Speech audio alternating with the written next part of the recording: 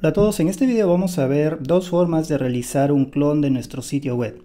Este clon lo vamos a utilizar, por ejemplo, cuando queramos hacer pruebas, cuando necesitamos probar algún plugin o realizar alguna modificación, sin necesidad de tocar nuestro sitio web que ya se encuentra en producción.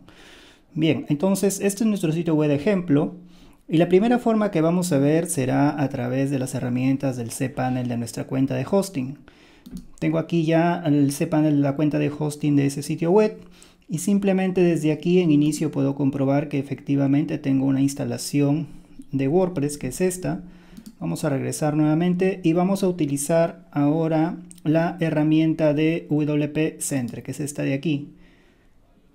En esta herramienta me detecta automáticamente los sitios web que tengo eh, instalados.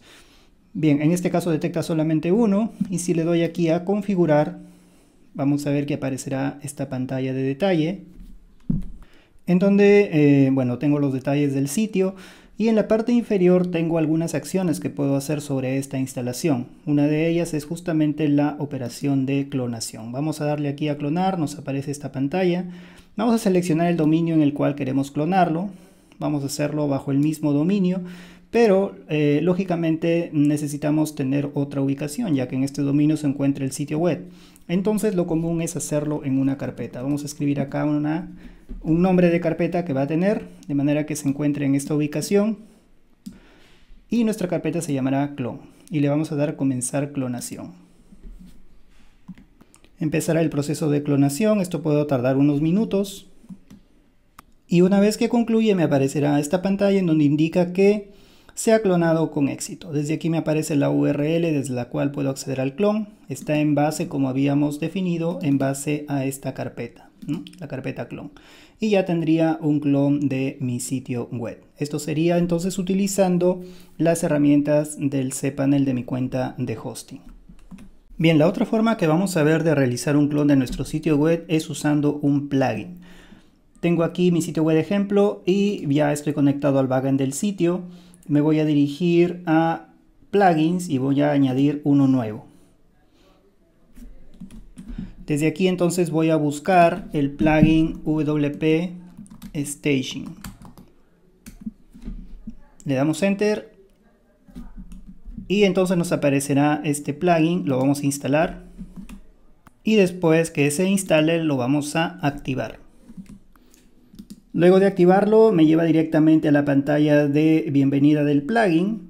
Lo tengo aquí en el menú lateral. Y desde aquí la primera opción de sitios empezar, vamos a darle clic aquí.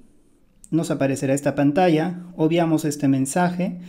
Y aquí básicamente son tres pasos. Vamos a darle crear nuevo sitio de staging. Estamos ahora en el segundo paso en donde necesitamos darle un nombre a nuestro clon. Vamos a utilizar el mismo nombre ya que he eliminado manualmente el clon que he hecho anteriormente. Y aquí bueno hay un detalle de las tablas que se van a copiar, de los archivos que se van a copiar. Y simplemente le damos aquí a empezar clonación. Empieza el proceso de clonación, tiene que completar todo este progreso y aquí aparecen detalles de lo que va realizando vemos que ya tenemos el proceso casi por la mitad. Hay que tener en cuenta de que en este caso este plugin no crea una nueva base de datos, sino que utiliza un prefijo diferente para las tablas del clon. A diferencia de lo que habíamos visto anteriormente con la clonación desde las herramientas del cPanel, en donde sí se crea una nueva base de datos. Bien, entonces vamos a esperar aquí que termine el proceso. Bien, vemos que ya ha terminado ha culminado aquí con la barra de progreso y me aparece un informe de lo que se ha hecho. Vemos todo este log y aquí hay una opción, un enlace en donde justamente me indica que puedo acceder aquí a mi nuevo sitio web. Vamos a ingresar entonces al staging que se ha creado. Es este, vamos a quitar esto de aquí.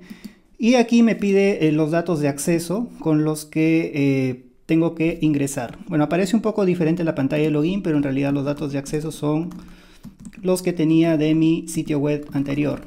Vamos a ingresar entonces y una vez que hemos realizado esto, vemos que nos aparece nuestro sitio web ya clonado. Como vemos hay unas pequeñas diferencias, por ejemplo aquí la barra mm, es de otro color y si ingreso al backend del sitio, me mantiene la barra. Esto para seguridad de que eh, me indique que estoy trabajando en un staging, ¿no? en un clon. Bien, ¿qué sucede si es que quiero eliminar este sitio web?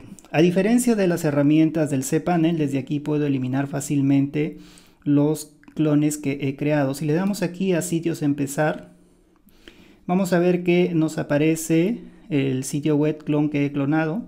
Bueno, pueden haber otros sitios web también en base a este que puedo clonar, pero desde aquí puedo hacer básicamente dos operaciones.